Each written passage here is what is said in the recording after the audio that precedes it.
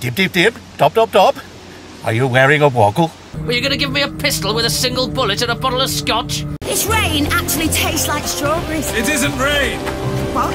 You'll buy a strip or two, won't you? There's a pound of kidneys in it.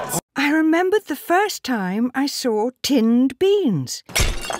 It was not a good day for pottery on the moon. Miss Evenden, it's time you learned not to hurt my Cuddlesome's feelings. I only said it looks like a laundry ticket.